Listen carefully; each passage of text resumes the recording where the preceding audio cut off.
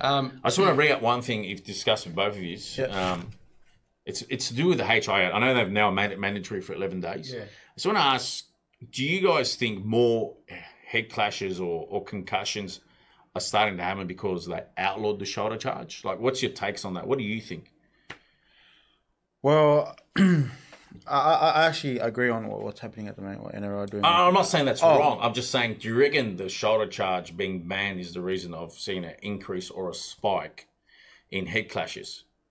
Because, you know, you playing the game, Yeah. it just feels like head clashes are getting more and more every year because the bodies are bigger. Because I'm sure you use your shoulder to great effect. Yeah, we all did yeah. playing junior footy as well against the bigger man. You could put your, you know, just ram into him.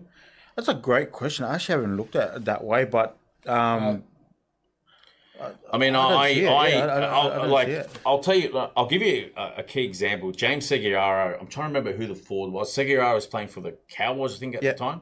Somebody's charging into line. Segeyaro launches from the ground with his shoulder, hits him, nails him, legitimately over here, and sends him, you know, flattens him to the ground. Yep. Legit tackle, nothing high. But now Segeyaro can't use his shoulder. So where's he going to go? It's either going to be high, he'd probably get, you know, bounced off, or he'll go low and the hip will hit or the knee, mm. or he'll try to go in for a side tackle and his teammate will come from the other side and it'll be fr- a lot of times we're seeing friendly fire, heads clashing and they're going down. yeah, So is the shoulder charge? I mean, it's another discussion we can bring further Yeah. and, and, and pose it to our fans mm. or whoever tunes into the podcast. Is the shoulder charge being banned a possible cause or the main reason of spike in the HR? I mean, in, in concussions? Look, look. Let me let me ah. let me tell you something. Let me tell you something.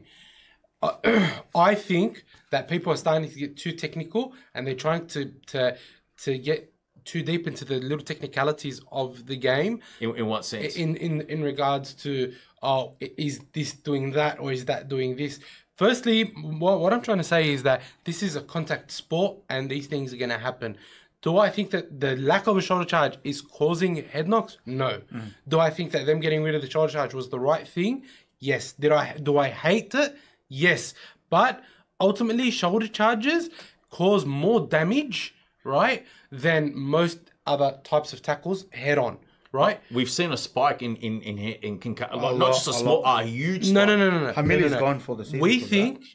Think Who? Se- uh, Se- Siliva, South- yeah. yeah, Who's Siliva, gone? Siliva Havili. the one from Rabbits. I heard he was gone. very bad. You're Yeah, right. he's gone. He won't be playing this year. And, and, and the thing is, like, if you look at when He might just retire. He's not young. yeah, anymore. might as well. I hope he doesn't. He's such a good, player. player, man. Is that, humble. good, is that a, what ten years in first grade? Is that a good? nah, stint? he hasn't. nah, had nah, tennis. nah, probably like Oh, three, five- five yeah, three or maybe? five. Yeah. Siliva Havili. Yeah. I think he was at the Dragons in 2014. he was.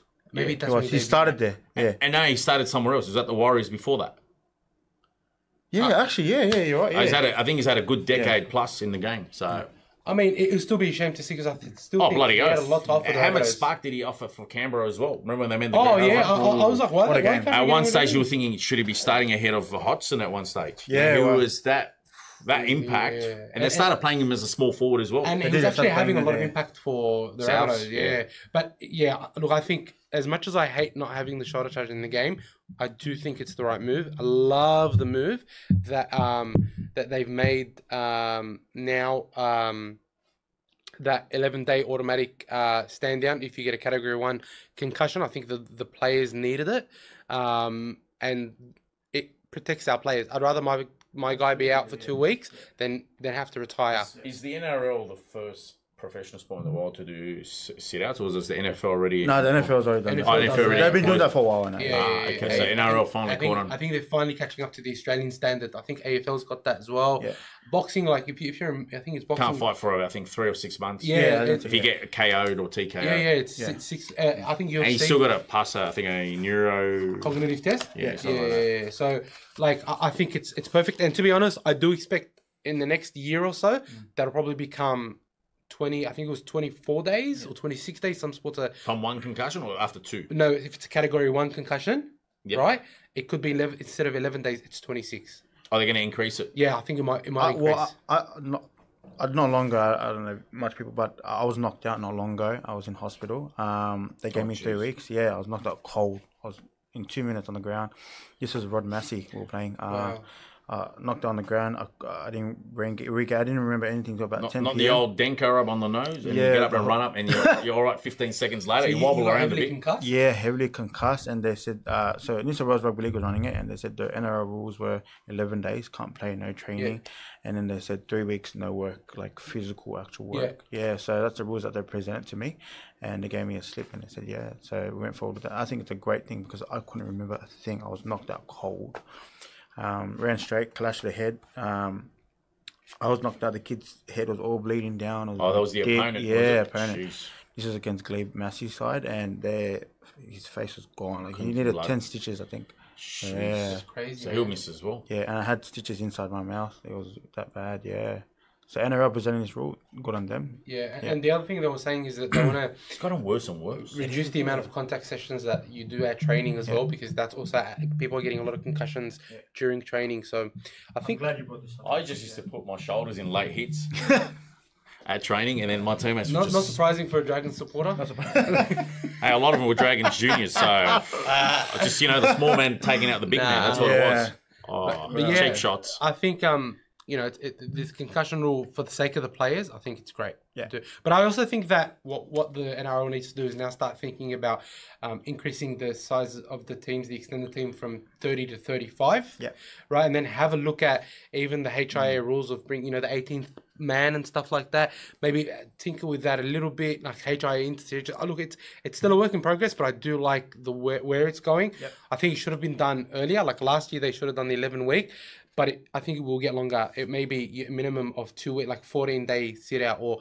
Because I, I, I forgot who I was listening to. They were saying that um, the uh, neurologists say it should be 23 days, not 11. Uh huh. Okay. Yeah. Right. That's going to be the norm. Twenty three. Well, no, That's like three days. Three no, no, games, they haven't said that it is, but they're saying that it should. That, that the neuroscience, um, neuroscience is saying that that's where it should get to. Okay, you know what I think will happen after that. So let's say they do implement your the 23 day Yeah. recommendation. You're going to start seeing NRL squads then increase from 30 to 35, maybe 40. Yeah, Because right. you need an extensive roster. I think the NFL's got what 53 line, 53. Yeah, They 53. literally got three or four players for every position. Yeah, that's so you got your reserve backup, for example, quarterback, and then you got your third string quarterback, Hmm. and then I think you get your like fourth string and anything. But he's like on the special Special teams. Yeah. Oh, and they have the tra- the team off season, or they have the team training list, so they're just still trying hard week in week out, and they probably get signed up for two weeks at a time. Yeah, to That's right. try to crack yeah, the yeah. fifty three, or just maybe offset the third string quarterback. For I'm just giving an example. Yeah, yeah, it's the yeah. same thing Yeah, with the linebackers and the and the linesmen and all that. So Yeah. I think we're going to see a move shift towards that as well with the NRL in that sense. And I think I think it makes sense. I think it makes sense. Um, but you know, like I keep thinking about Kalyn Ponga and thinking if he's lost to the game, I'll be I'll be really upset. Yeah. The guy's young. He's got the, all the talent in the world. Like when he plays for Queensland, he's incredible. So I I think all the moves that the NRL can make to help protect the players, um, I'm all for it, man. Definitely all for How it. many concussions does that cost this? Shit? How how many has he copped? Three already? No, he he copped the one. Or hasn't But copped last two? last year he copped four.